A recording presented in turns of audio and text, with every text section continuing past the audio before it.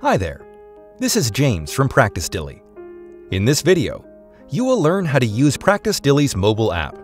If you use Dentrix, Eaglesoft, or Open Dental, you can now access your schedule, look up patient information, and message your patients. Here's how you can do it.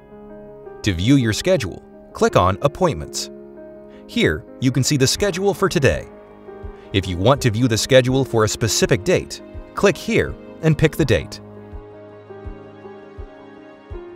If you want to view appointments of a specific provider or hygienist, you can filter here. To view more details on the appointment, click here.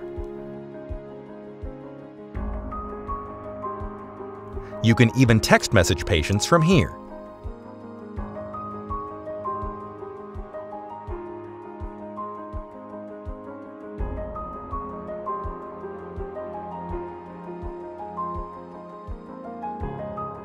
To view patient information, click on Patient Lookup.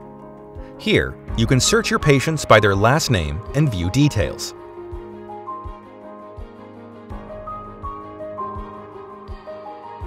To text a patient, go to the Message Center.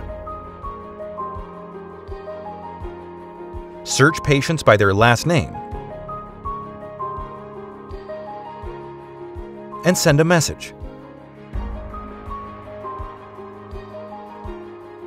When the patient responds back, you can see the responses here.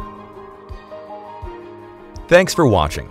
To install the app on your device, visit the App Store or Google Play and search for Practice Dilly.